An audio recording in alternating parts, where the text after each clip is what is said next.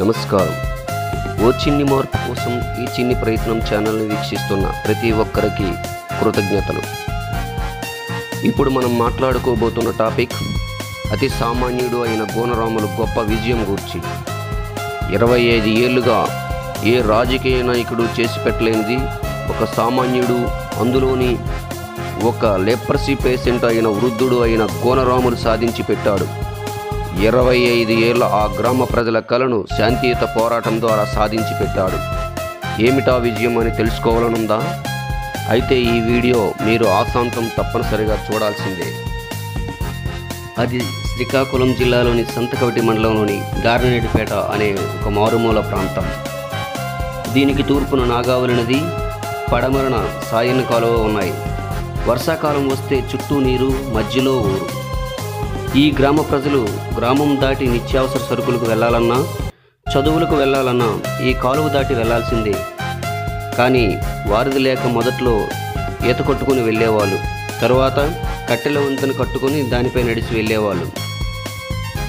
అందుకే ఆ గ్రామం అన్ని రకాలుగా వెనుకబడింది.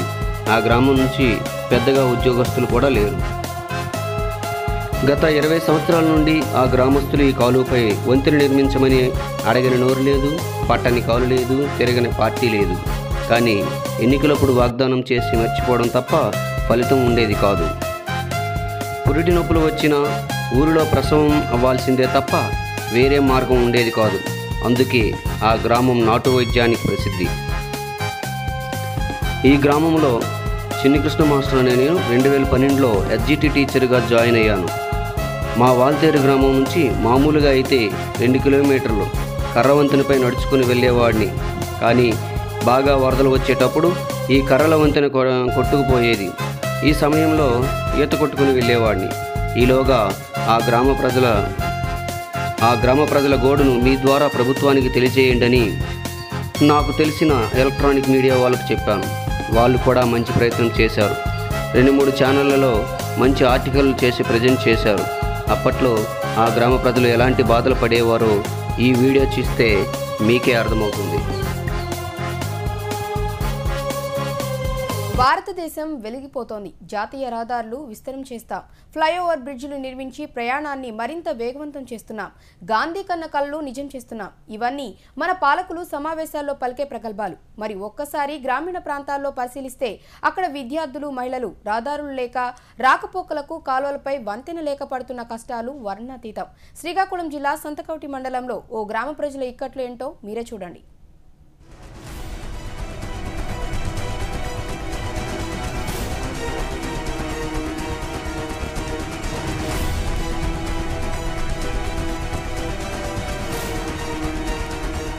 కర్ర చెక్కలపై తేలియాడుతూ నడుస్తున్న వైనాన్ని చూసి ఇదేదో సర్కస్ అనుకుంటే పొరపాటే.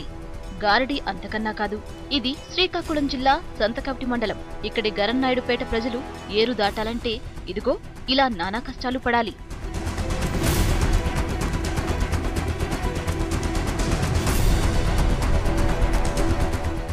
గారన్నాయుడుపేట ప్రజలు విద్యార్థులు అన్నింటికీ పనసపేట మీదుగా వెళ్ళాల్సొస్తుంది. అక్కడకు వెళ్ళాలంటే ఈ గడ్డ దాటాల్సిందే. నారాయణపురం కాలువ నిర్మించి దశాబ్ద కాలం గడుస్తున్నా వంతెన నిర్మించకపోవడంతో ప్రజలు నానావస్థలు పడుతున్నారు. అక్కడ జనం ఏర్పరచుకున్న తాత్కాలిక వంతెన ఇది. అక్కడ విద్యార్థులకు ప్రజలకు ఈ వంతెనే గతి.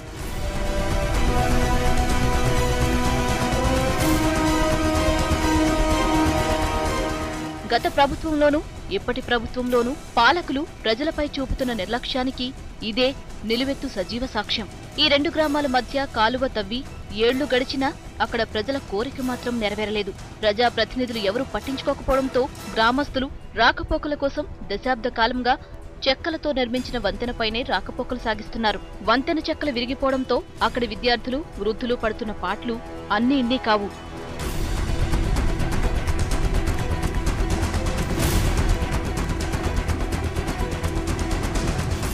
చిన్నారి బాలికలు సైతం గెడ్డలో దిగి తడుచుకుంటూ వెళ్ళాల్సిందే. కొందరు విద్యార్థులు రెండేసి దుస్తులు పట్టుకోగా మరికొందరు ఆ తడిసిన దుస్తులతో వెళ్ళాల్సిన పరిస్థితి ఏర్పడుతుంది. మా మా వాల్తేరుకి మాకు రెండు కిలోమీటర్ల దూరం ఉంటుంది. మధ్యలో పెద్ద కాలువ ఉంది. ఆ కాలువ దాటడానికి కంపల్సరీగా ఆడపిల్లలకి ఈత రావాలి. ఇది ఈ బ్రిడ్జి గతంలో కర్రల బ్రిడ్జి కట్టారు. ఇది మొన్న మొన్నే పడిపోయింది. స్కూల్కి వెళ్ళడానికి ఇది చాలా అవసరం. మేము వాళ్ళతో స్కూల్కి వెళ్ళాలంటే మా ఊరు పక్కన గడ్డ ఉంది చాలా పెద్దది. ఇది దాటాలంటే బ్రిడ్జ్ ఉండాలి. బ్రిడ్జ్ చెక్కలు మొన్న మొన్నే కట్టారు. అది కట్టినా ఎన్ని రోజులు వండుకుంటుంది? మొన్న ఊడిపోయింది. అది ఊడిపోవడం వల్ల మేము ప్రతిరోజు కింద దిగే వెళ్ళాల్సి వస్తుంది. ఆడపిల్లలు అయితే కావాలి కాలువల నుంచి ఈత కొట్టి వెళ్ళాలి. అలా అందరికీ సాధ్యం కావడం లేదు. గారనాయుడుపేట గ్రామస్తులు నిత్యం ఈ వంతెనపై దాటి వెళ్ళనిదే గడవదు అంటున్నారు. వృద్ధులు గర్భిణీలు రైతులు ఇలా అన్ని వర్గాల వారు కూడా ఆ గ్రామం నుంచి బయటకు రావాలంటే ఎన్ని కష్టాలు పడాలో. ఇప్పుడు చెక్కలు కూడా విరిగిపోవడంతో ప్రజల కష్టాలు రెట్టింపయ్యాయి. దీనివల్ల గ్రామంలో చదువులు కూడా అర్ధాంతరంగా ఆగిపోతున్నాయి. పెళ్ళిళ్ళు జరగడం లేదు. ముప్పై ఇరవై ముప్పై సంవత్సరాల నుంచి కూడా ఈ ఊరికి బ్రిడ్జ్ లేక గ్రామస్తులు చాలా ఇబ్బంది పడుతూ వాళ్ళు సొంత సందాలు వేసుకొని కర్రల బ్రిడ్జి కడుతున్నారు. ఆ కర్రల బ్రిడ్జి ఎన్నో సందర్భాల్లో తెగిపోయి క్రింద పడిపోయి కాలు చేతులు విరిగిపోయిన సందర్భాలు కూడా చాలా ఉన్నాయి. దీనివల్ల ఎంతో ఇబ్బంది పడుతున్నారు. అంతరిక్షంలో కూడా విహారయాత్రలకు వెళ్తున్నటువంటి ఈ రోజుల్లో ఈ ఒక గ్రామం నుంచి ఇంకో గ్రామానికి కనీస సదుపాయం లేకపోవడం ఈ కాలువ మీద బ్రిడ్జి లేకపోవడం చాలా ఇబ్బంది పడుతున్నారు ఈ గ్రామ ప్రజలు. అలాగే అమ్మాయిల విషయంలో స్కూల్కి వెళ్ళాల్సి వచ్చేటప్పుడు ఒక రెండేసి డ్రెస్సులు యువతలకి అవతలకి వెళ్ళాల్సి వచ్చినప్పుడు పట్టుకోవాల్సి రావాల్సి వస్తుంది. ఇప్పటికైనా ప్రభుత్వం వెంటనే స్పందించి సత్వరం వంతెన నిర్మించాలని వీరు కోరుతున్నారు. Studio N news Srikakulam. ఇలా మూడు సంవత్సరాలు సాగింది. రెండు వేల పదిహేనులో ఆ గ్రామంలో కొంతమందిని మీరు ఇలా ఎన్నాళ్ళు రాజకీయ నాయకుల చుట్టూ తిరుగుతున్నా ఫలితం ఉండడం లేదు కదా. ఈ గ్రామం నుంచి ఎవరైనా ఒకరు ఆమర నిరాదీక్ష కూర్చుంటే వంతెన సాధించుకోగలుగుతాము. గాంధీ మార్గమే మనకి శరణ్యం అని చాలామందికి ఒక ఆయన చెప్పారు. కానీ ఎవరూ కొన్నాళ్ళు స్పందించలేదు. చివరికి ఒక సామాన్య వృద్ధుడు అదీగాక ఒక లెప్రసీ పేషెంట్ అయిన గోనరాములు ఆమరణ నిరాదీక్ష పూనుకున్నారు. మొదటి రెండు రోజులు పెద్దగా స్పందన లేకపోయింది. అయినా అక్కడి యువత కొద్దిగా అండగా నిలిచారు. మూడవ రోజు గ్రామస్తులందరూ పనులు మానుకుని మరీ ఉండి మద్దతు తెలియజేశారు. అలాగే చుట్టుపట్టు గ్రామస్తులందరూ మద్దతు తెలియజేశారు. గోనరాముల ఆరోగ్యం క్షీణించింది. నాలుగవ రోజు కూడా అశేష జనం మద్దతు ఇచ్చారు. స్థానిక ఎమ్మెల్యే కంబాల జోగులు గారు వచ్చారు. ఆయనను కదలనీయకుండా దీక్షా శిబిరం వద్దని నిర్బంధించారు. చివరికి అప్పటి జిల్లా కలెక్టర్ లక్ష్మీ నరసింహం గారు స్పందించి ఎమ్మెల్యే గారితో ఫోన్లో మాట్లాడి దీక్ష విరమింపజేయించి ఆ గ్రామ ప్రజలను తీసుకొని రండి వాళ్ళతో చర్చిద్దాం. తప్పనిసరిగా వంతె నిర్మించే బాధ్యత నాది అని హామీ ఇచ్చారు. చర్చికి గ్రామ ప్రజలు వెళ్ళారు. ఆ గ్రామంలో పనిచేస్తున్న టీచర్ని కనుక నన్ను కూడా రమ్మన్నారు. నేను కూడా వెళ్ళాను. కలెక్టర్ గారికి అక్కడి పరిస్థితి ఫొటోస్తో సహా చూపించి వివరించాను.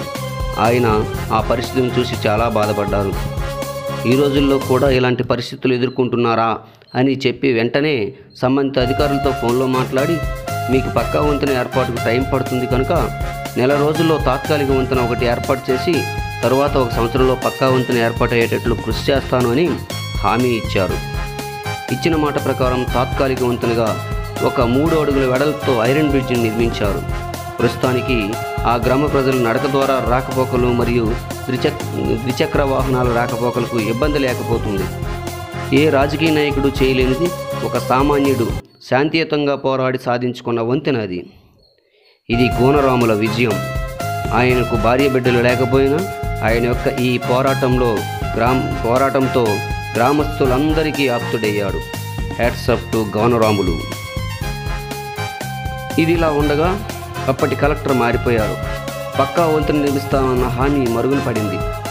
నేటికి మూడు సంవత్సరాలు పూర్తి అయినా పక్కా వంతెన హామీ నెరవేరలేదు. ఈలోగా ఆ ఐరన్ బ్రిడ్జ్ తుప్పుపట్టేసింది ఇది మహా అయితే మరో సంవత్సరం నిలబడుతుంది. మళ్ళీ ఆ గ్రామస్తుల గుండెల్లో గుబులు మొదలైంది. మళ్ళీ ప్రజా ఉద్యమం రాకముందే ప్రభుత్వం మేలుకొని ఆ గ్రామానికి అవసరమైన పక్కా వంతెన నిర్మిస్తారని ఆశిద్దాం. జై హింద్.